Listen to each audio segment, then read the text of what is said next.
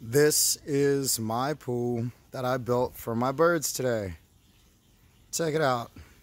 I'm going to introduce them to it. Uh, I got it off of eBay for like 71% off actual retail price. Uh, and I got a skim off the top of it. I ordered a skimmer from Walmart, just a wand. And I'm going to use it to skim it and clean it for them. But uh, check this sucker out, dude.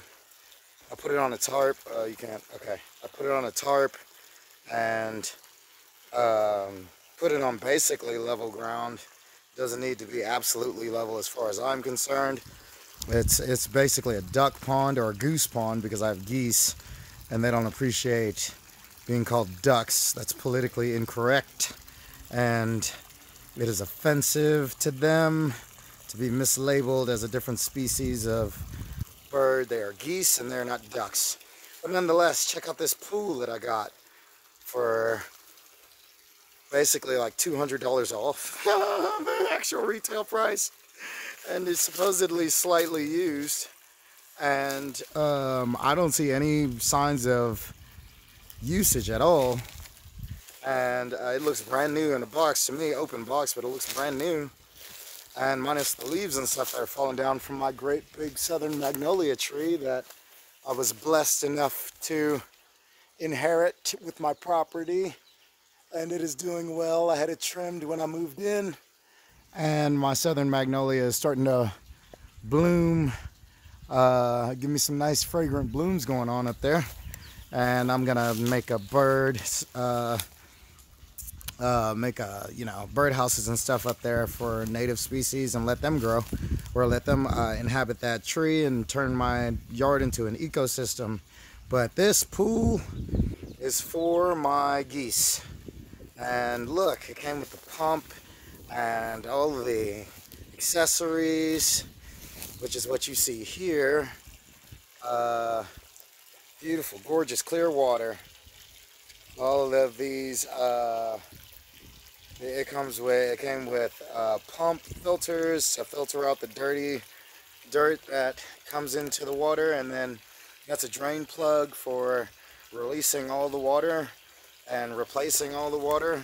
It's taken me a couple hours just to fill it. Took me till three hours to build it by myself and then it's taken me another uh, it's taken me another what is it five something uh, two hours so far just to fill it up or maybe an hour and a half to fill it up so far. So, but this is the, um, these are the pumps working. And then that is the, uh, these are the intake pumps, intake. And then that is um, the water flowing back into the pool. And then over here in the corner, I'm filling up the pool with a tiny little water hose over there. But this is like an 815 gallon swimming pool that my birds are to be able to swim in. I'm to skim the leaves off the top and stuff. And then what I'm to do is I'm to put feeder fish from uh, from the store. I was to say Home Depot from like, uh, you know, Petco or something. I'm to put feeder fish in here and give them a little bit of fish food and then let my birds come and swim with them. And they can be like mermaids uh, and explore their, my birds are waterfowl. So they are indeed um, they like water. They are geese, and they're inherently waterfowl. And I think it would be fun for them to be able to swim on hot summer days in Southern California, and to uh, and to be able to play with the fishes. And we'll see how that works out. And put some minnows in there and let them play together. So there you go. I'm going to make a video later on this afternoon uh, as soon as this fully fills. It's uh, as soon as it fills up. I got maybe, hopefully, another hour because the sun's going down. But hopefully it will fill soon and they will be able to play in it because I'm going to bring them out here and show you their reaction.